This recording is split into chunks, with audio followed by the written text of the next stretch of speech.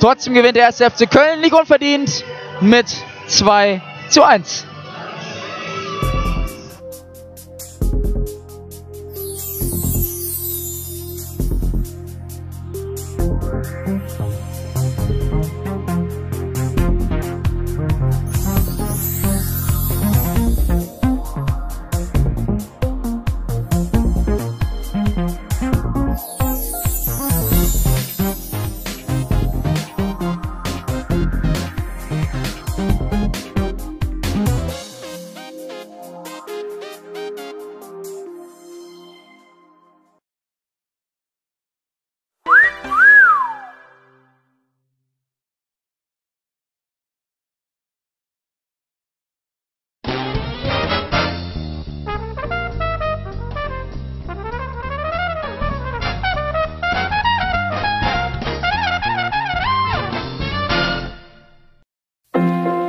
Ich glaube nicht daran, dass die Angst vorm Verlieren dich eher zu einem Sieger macht als die Lust auf Gewinn. Und die Lust auf Gewinn ist das, um was es geht. Das weckt die Gier in dir, das macht, das macht dich aus, das lässt dich leicht laufen, das lässt dich leicht übers, über deine eigentlichen Möglichkeiten hinauswachsen, das macht dich besonders stark. Und diese Lust aufs Gewinnen, die tobt in mir.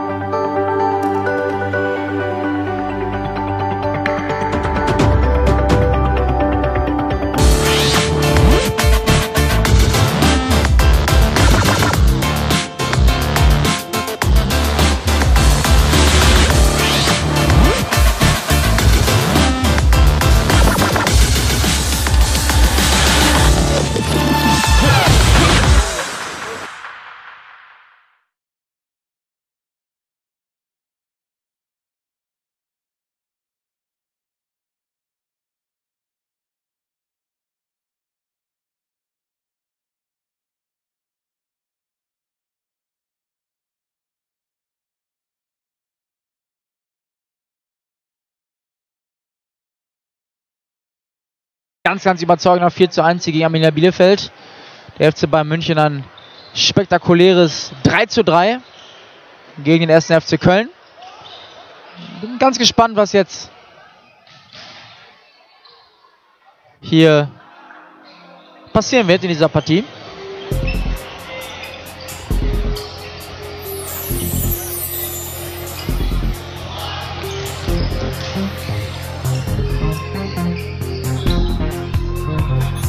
Ist das drittletzte Spiel für heute. Einen ganz langen Fußballtag.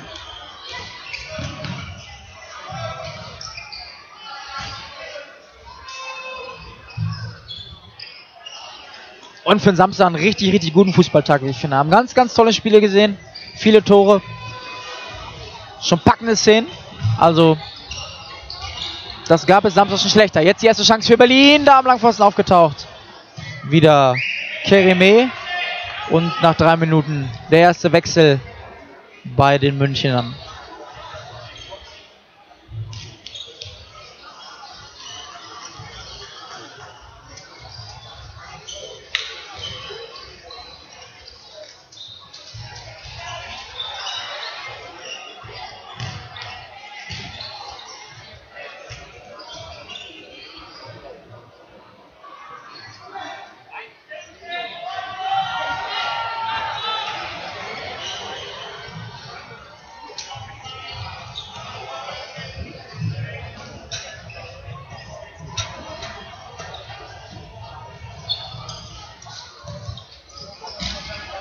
War ganz bezeichnend beim FC Bayern war die Aussage, bei uns zählen gar nicht die Pokale und Medaillen, die da in der Vitrine vielleicht im Jugendhaus hängen.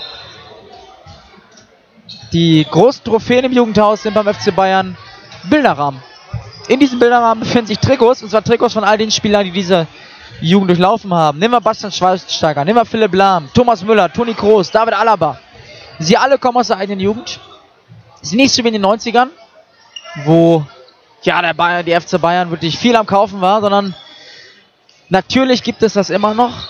Punktuell wird dazu geholt, aber ein Großteil der Mannschaft ist natürlich aus der eigenen Jugend. Dadurch auch diese neue Identifikation, diese neue Sympathie. Thomas Tuchel sagt das mal am Saisonanfang, auch als Guardiola kam. Die Bayern werden uns fast schon sympathisch. Das ist eigentlich das Schlimmste, was passieren kann. Also es ist schon unglaublich gut, was, was in München passiert. Und natürlich gibt es die Vorurteile. Fakt ist auch, dass ein Riesengrundstein dieses Riesenerfolges der Bayern auch die gute Jugendarbeit ist.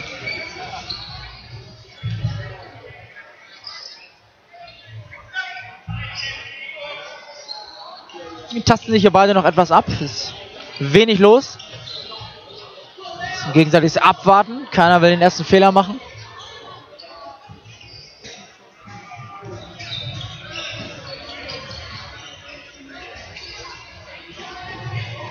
Auch der Ball wieder geklärt.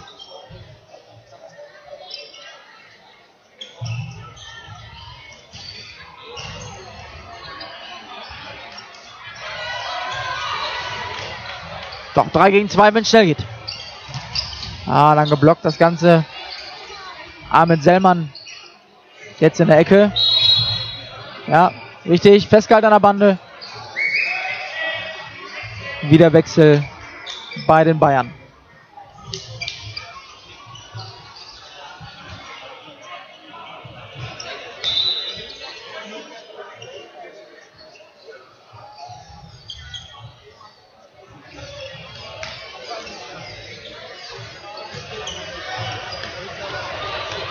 Jetzt der Ballgewinn, aber gut durchgesetzt da von Niklas Dorsch.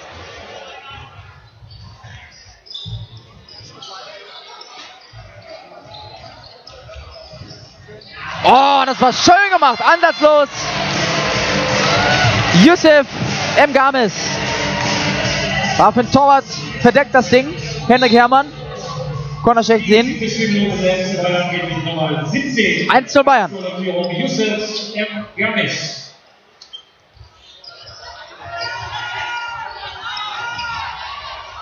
Die Berliner Antwort.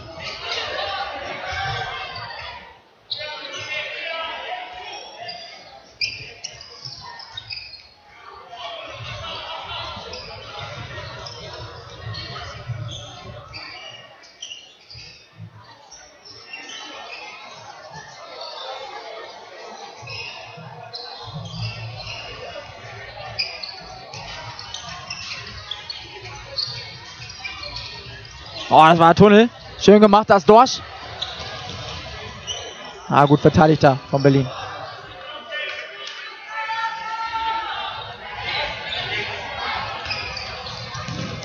Aber Schussversuch und oh, schlechte Absprache zwischen Tor und Verteidiger, aber der Kopfball nicht stark genug. Hätte trotzdem fast ins Auge gehen können. Für die Bayern. Berlin wechselt.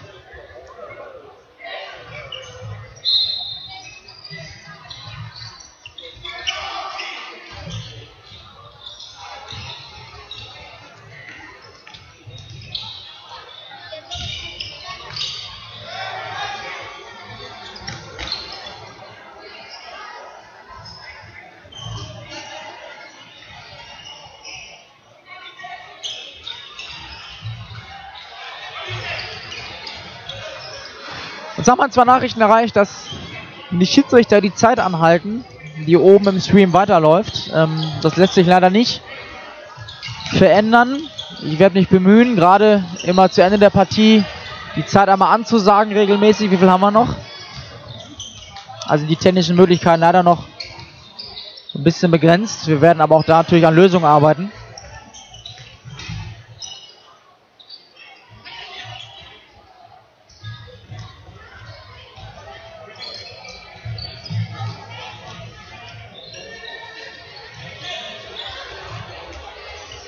Das Spiel ist plätschert so ein bisschen vor sich hin.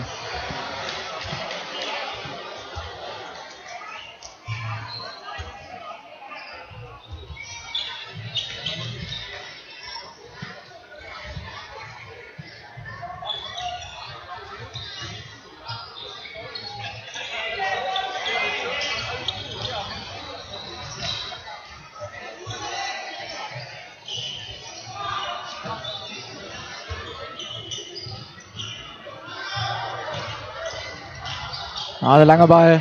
Kein Problem für Henrik Herrmann im Tor der Berliner. Und wenn Berlins Trainer Frank Vogel über seine Mannschaft spricht, dann lobt er vor allen Dingen eine sehr offensiv starke Mannschaft mit vielen kreativen Spielern.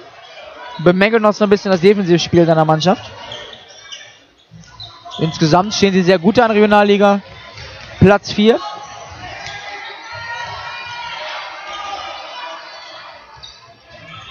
Mit etwas konzentrierter Defensivleistung hätten es noch ein, zwei Plätze wohl mehr sein können. Das hier fällt noch nicht so auf. Zwei Gegentore bisher für die Berliner. Allerdings fehlt ihnen hier ein eigenes, denn sie liegen 1 0 hinten.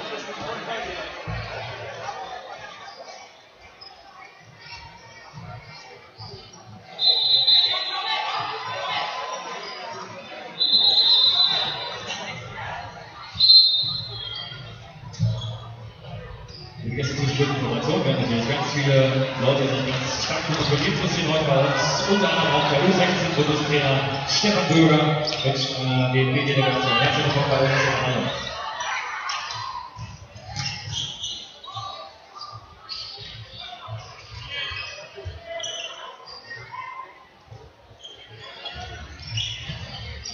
Und das 2 zu 0 für Bayern. Eine Einzelleistung. Natürlich hat sie dieses Spiel gebraucht. Was sonst? Ist nicht die Partie der großen Kombination. Mario Schinicki. Die in der Nummer 16 mit dem zweiten Treffer für die Bayern. Neuer Spielstand 2 zu 0. Es gibt prominenten Besuch in der Kreissporthalle Lübbecke. Ja, U16 Bundestrainer ist da. Stefan Böger und sieht natürlich ganz, ganz viele seiner Jungs.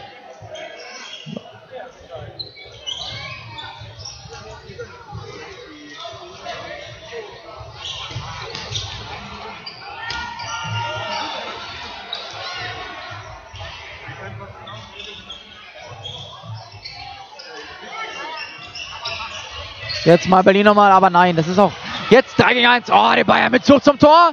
Nochmal gut gespielt, vorbeigelegt, aber starke Torhüter. Parade von Hermann. Bayern bleibt im Ballbesitz, jetzt die Berliner mal wieder sortiert. Das heißt, das Ganze beruhigt sich ein bisschen. Dorsch, nochmal mit der Bande gespielt, Berlin klärt. So, jetzt aber jetzt ist ja auf kein Berliner mehr mit nach vorne. Ja, die haben es ein bisschen abgeschenkt. Das ist. Wirkt ein bisschen hoffnungslos. Also auch die Berliner im zweiten Spiel enttäuschend. Gar nicht wiederzuerkennen aus Spiel Nummer 1.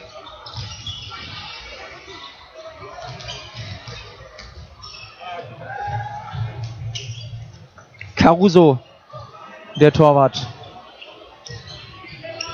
beim FCB. Abgeklärt, jawohl. Ab geht die wilde Fahrt wieder in Überzahl. 3 gegen 2, jetzt äh, rückt Berlin auf, aber nochmal die Aktion. Ah, verzögert er. Und jetzt muss er zurückspielen. Jetzt muss Dorsch zurückspielen.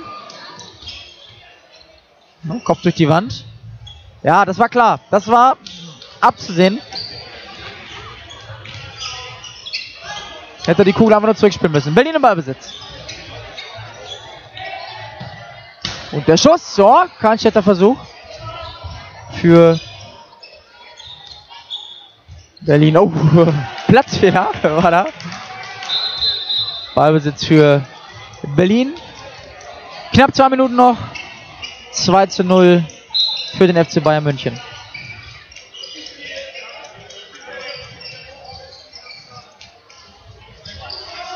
Oh, schön mit der Hacke jetzt mal zurückgelegt, aber dann wieder die Bayern konsequent verteidigt.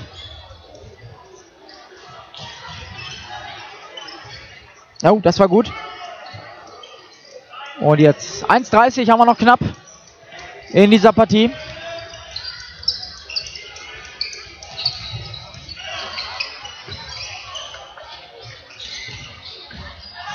Oh, schön durchgesetzt hier. Macht ein auffälliges Spiel.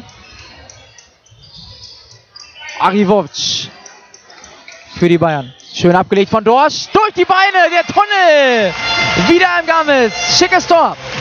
Dorsch legt ab, M. Games schießt durch die Beine des Berliner Verteidigers zum 3 zu 0 zur Entscheidung. 3 zu 0 für den nächsten Bayern. Der FC Bayern mit seinem ersten Dreier, Games. 45 Sekunden vor dem Ende. Die letzten vier.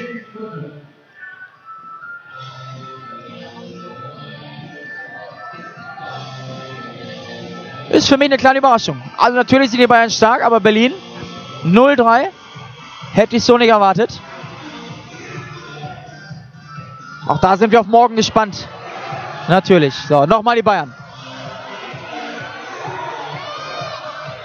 Ah, ganz clever, abgeklärt. Ja, wollte vorne ganz gerne den Ball haben. Hat sich äh, Schilitzki wieder beschwert.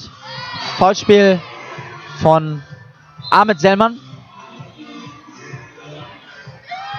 Die letzten Sekunden laufen. 3, 2, 1. Glückwunsch FC Bayern zum 3 zu 0.